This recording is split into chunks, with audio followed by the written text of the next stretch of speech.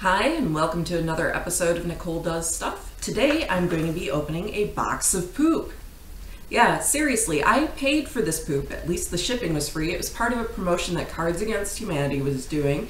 And, um, yeah, I couldn't resist. And I've actually seen people reselling these before they came out and anybody knows what's in them for $50. So that's like a, a $44 profit, and people are actually paying that so I think there's something else in there though, unless that's a hardened poop nugget rattling around. So let's take a look.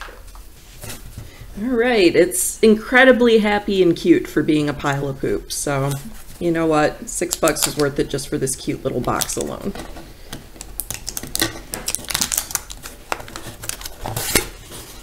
Oh boy, here's the bullshit.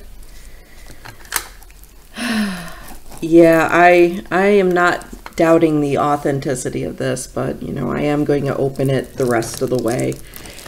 I'm going to regret this.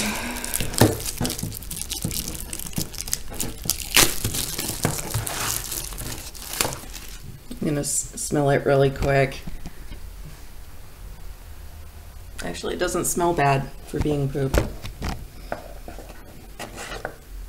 Oh my god okay, it's it's fluffier than I thought it would be.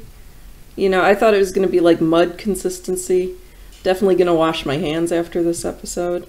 Wow. Okay.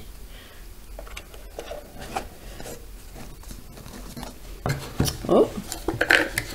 And here's what was rattling around in there. Happy little poop pin.